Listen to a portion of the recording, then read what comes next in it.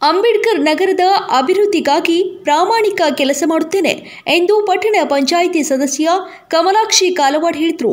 ಅವರು ಇಂದು ಪಟ್ಟಣದ doctor B R Ambedkar ನಗರದಲ್ಲಿ ಇಪ್ಪತ್ತೊಂದು, ಇಪ್ಪತ್ತೆರಡನೇ ಸಾಲಿನ ಎಸ್ಎಫ್ಸಿ ಮುಕ್ತ ನಿಧಿ ಮತ್ತು ಪಟ್ಟಣ ಪಂಚಾಯಿತಿಯ ಎಸ್ಸಿಪಿ ಟಿಎಸ್ಪಿ ಯೋಜನೆಯಡಿಯಲ್ಲಿ ಕಾಂಕ್ರೀಟ್ ಕಟ್ಟಾರು ಹಾಗೂ ಸಿಡಿ ರಸ್ತೆಯ ಗುದ್ದಲಿ ಪೂಜೆಯನ್ನು ವಾರ್ಡಿನ ಸದಸ್ಯ ಕಮಲಾಕ್ಷಿ ಕಾಲವಾಡ್ ಗುದ್ದಲಿ ಪೂಜೆ ನೆರವೇರಿಸಿ ಮಾತನಾಡುತ್ತಾ, ನಮ್ಮ ವಾರ್ಡ್ ಸಾಕಷ್ಟು ಅಭಿವೃದ್ಧಿ ಕೆಲಸ ಆಗಬೇಕಾಗಿದೆ. ಅದಕ್ಕಾಗಿ ವಿಶೇಷ ಅನುದಾನ ನೀಡುವ ಮೂಲಕ ಅಂಬೇಡ್ಕರ್ ನಗರವನ್ನು, ಒಂದು ಸುಂದರ ನಗರವನ್ನು ಮಾಡಲು ಪಟ್ಟಣ ಪಂಚಾಯಿತಿಯ ಅಧಿಕಾರಿಗಳು, ಅಧ್ಯಕ್ಷರು ಸಹಕಾರ ನೀಡಬೇಕೆಂದು ಮನವಿ ಮಾಡಿದರು.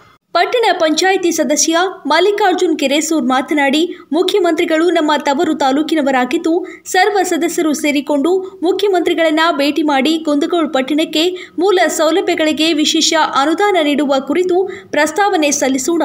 ಇದರಿಂದ ಒಳಚರಂಡಿ ವ್ಯವಸ್ಥೆ, ಕಾಂಕ್ರೀಟ್ ರಸ್ತೆ ಸೇರಿದಂತೆ ಮೂಲ ಸೌಲಭ್ಯಗಳಿಗೆ ವಿಶೇಷ ಅನುದಾನ ಕಲ್ಪಿಸಿಕೊಟ್ಟರು ಎಲ್ಲ ವಾರ್ಡ್ಗಳು ಅಭಿವೃದ್ಧಿ ಹೊಂದಲು ಸಾಧ್ಯ ಎಂದು ಹೇಳಿದರು. ಈ ಸಂದರ್ಭದಲ್ಲಿ ಪಟ್ಟಣ ಪಂಚಾಯಿತಿ ಸದಸ್ಯರಾದ ಮಲ್ಲಿಕಾರ್ಜುನ್ ಕಿರೇಸೂರ್, ಬಸವರಾಜ್ ತಳವಾರ್, ದಿಲೀಪ್ ಕಲಾಲ್, ಮಲ್ಲಿಕ್ ಶಿರೂರ್, ಮುಖಂಡರಾದ ಅಡಿಯಪ್ಪ ಬಂಡಿವಾಡ್, ಸಿದ್ದಪ್ಪ ಚೂರಿ, ಬಸವರಾಜ್ ರೇವಡನವರ್ ಸೇರಿದಂತೆ ಅನೇಕ ಗಣ್ಯರು ಉಪಸ್ಥಿತರಿದ್ದರು. Manjunath Shivakkanavar M two TV news Kundgol.